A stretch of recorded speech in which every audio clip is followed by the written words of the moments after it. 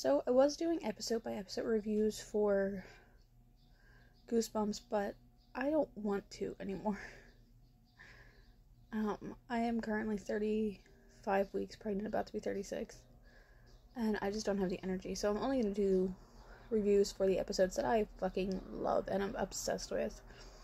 Which the next episode would be season 3, episode 16, Bride of the Living Dummy. A ventriloquist named Jimmy O. James finds Slappy's ventriloquist case and accidentally summons Slappy. Which he's using him in his shows, and you can tell like he's part. Of, he's the, he's part of the show, but something is sinister because it's Slappy. And then it says, and now only two teens, Jillian Harrison and Jillian's sister, Katie, can stop him. That makes no sense.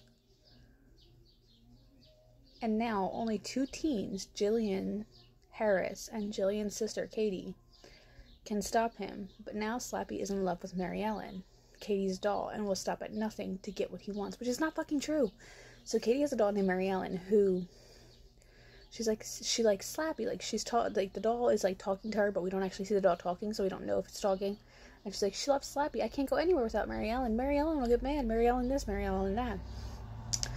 Slappy is not obsessed with Mary Ellen. But um, Slappy tells Jimmy to send him to the girls, like to give him to the girls. And he ends up mailing Slappy to their house. And automatically things start to go wrong. Like things are just not right. They take him back to Jimmy O. The oldest sister does.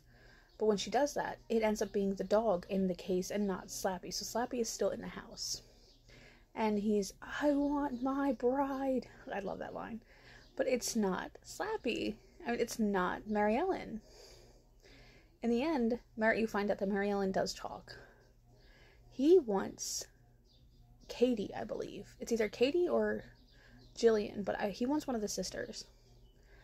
And Mary Ellen and Slappy get into a fight.